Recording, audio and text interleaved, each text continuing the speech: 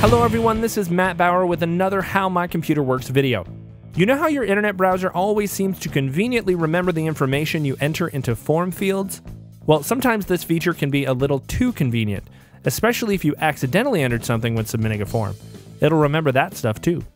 Luckily, if you use the arrow keys and highlight the autocomplete entry you want to remove, you can usually do that pretty easily just by pressing the delete key.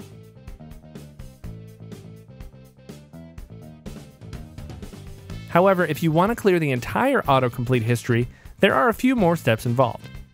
Now this video is for the Internet Explorer browser. Click either of these links or the links in the more info section below to see the instructions for the Google Chrome or Mozilla Firefox browsers. Okay, so when you're in the Internet Explorer browser, click this button on the top right. This will give you several options for performing actions and customizing the browser. Just click Internet Options, and you'll be brought to this page. Now front and center, you'll see the browsing history section. Just click the delete button. By the way, anytime you see a button or menu option with an ellipsis at the end, it usually means there will be a dialog box or other sort of confirmation screen before the action is actually performed. So if it's something you're a little hesitant to do, there are usually more options if it has an ellipsis at the end.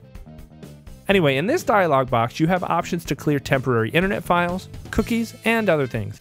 What we're looking for is this option, form data. Since that's all we want to do right now, make sure that the other boxes are unchecked. When you're done, just click delete, and you're all set.